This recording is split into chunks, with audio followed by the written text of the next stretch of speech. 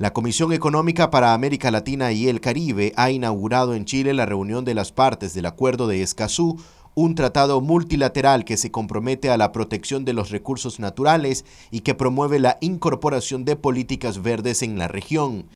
Hemos llegado al punto de partida y eso es un motivo para estar felices, pero no podemos perder de vista que la implementación de este acuerdo va a confrontarnos con serias dificultades y desigualdades propias de la realidad de cada uno de los estados que finalmente sean parte. Quiero hacer presente que en este camino reconocer nuestras fortalezas para mejorar las estructuras de información, de participación y acceso a la justicia que ya existen y también mirar las fortalezas de los demás países de la región va a ser muy importante. El dialogar, dialogar, conversar, colaborar, colaborar en vez de competir es algo que tiene que guiar nuestra acción.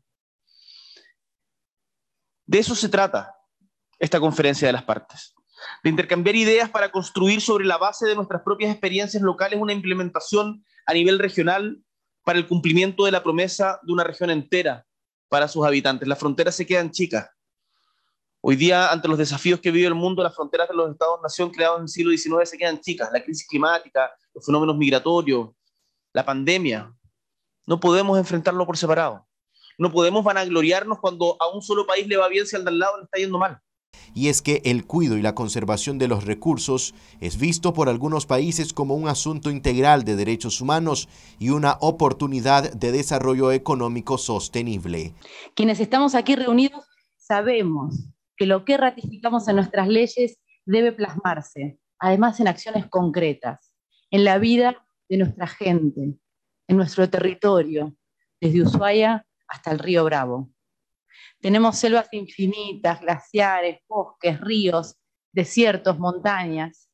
Tenemos un enorme y diverso potencial de desarrollo a partir de nuestros recursos naturales.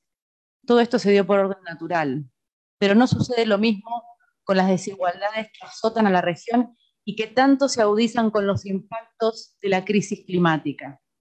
Allí tenemos problemas con múltiples facetas que resolver y lo tenemos que resolver ahora.